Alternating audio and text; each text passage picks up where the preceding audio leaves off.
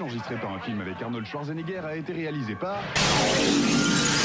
Total Recall avec 261,6 millions de dollars au compteur, soit la somme nécessaire pour vous offrir 165 000 voyages direction les Baléares.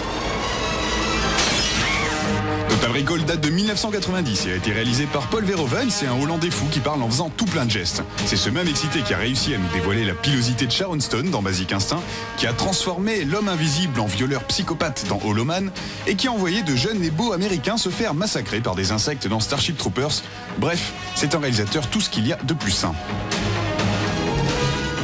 Total Recall, Paul Verhoeven adapte les écrits d'un autre fou furieux, Philippe Kadik. Ce romancier allumé du cortex est également responsable de Blade Runner et de Minority Report. Alors, cher monsieur, je ne sais pas qui, attends-toi une super surprise. Tu n'es pas toi, tu es moi. Sans blague. Au commencement, le héros du film devait être un homme timide et ordinaire, incarné par Richard Dreyfus, Harrison Ford, ou bien encore par Patrick Swayze. Si au final il a les muscles de Schwarzy, ce n'est pas l'expression d'une victoire haltérophilique, mais tout simplement parce que la star a racheté le projet quand celui-ci était en faillite, et s'est tout naturellement imposé dans le rôle principal. Les scénaristes ont donc eu quelques modifications à apporter sur le script pour adapter leur personnage à la carrure d'Arnold. Il était bien entendu inimaginable d'espérer faire passer Arnold Schwarzenegger pour un mec timide. Un total recalage de position qui permet à Schwarzenegger, à cette époque encore star montante, de creuser un peu plus son trou dans le showbiz. La deuxième place des meilleures recettes de films à travers le monde avec l'Autrichien Bodybuildé est tenue par True Lies en 1994 avec 356,3 millions de dollars ramassés, soit de quoi vous acheter 120 000 costumes de luxe comme celui que porte Arnold dans le film. Quand il avait encore une belle chemise, Arnold est tombé sur un film français appelé La Totale et ça lui a donné des idées.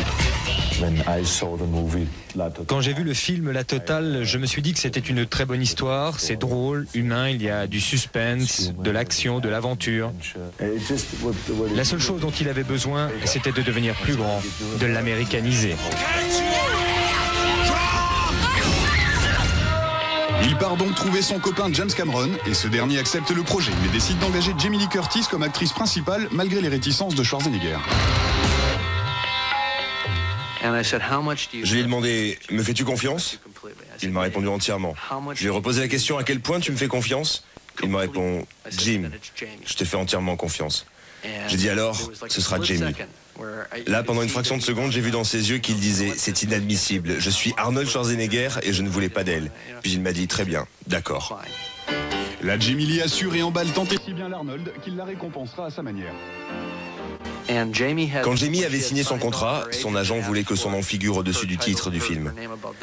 Mais c'était un espace strictement réservé à Arnold. C'était un petit jeu entre agents. C'est alors qu'Arnold a dit elle le mérite. Elle a fait tout le travail. Elle a été fantastique.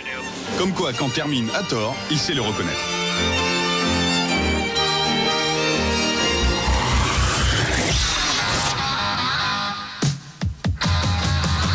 Et justement, le plus gros film de Schwarzenegger, c'est Terminator 2, sorti en 1991, qui a récolté 516,8 millions de dollars dans le monde, soit l'équivalent de 2 millions de robots ménagers.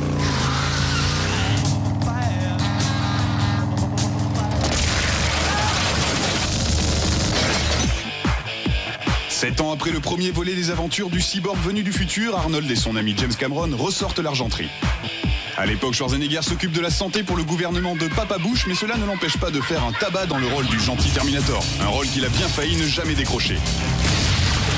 Quand le premier Terminator était en projet, Arnold voulait jouer le rôle de Reese, le héros qui meurt à la fin au lieu de celui de la machine. James Cameron l'a convaincu du contraire avec des arguments pas forcément sympas à entendre. À un moment, Reese devait dire 25 pages de texte à toute vitesse, où il décrivait un monde futuriste qu'on ne pouvait montrer faute de budget. Cela n'aurait pas été facile pour Arnold. Mais depuis, il a beaucoup progressé comme acteur.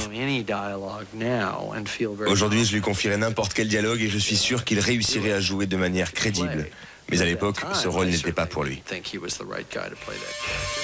Bon, depuis Cameron s'est effectivement rattrapé puisqu'il fait parler Arnold dans Terminator 2. Hasta la vista, baby. Reste cool. No problemo. Et dans quelques semaines va débarquer la troisième aventure du Terminator. Ce sera peut-être pour Arnold l'occasion d'enfin faire éclater sa grosse verve au grand jour. She'll be.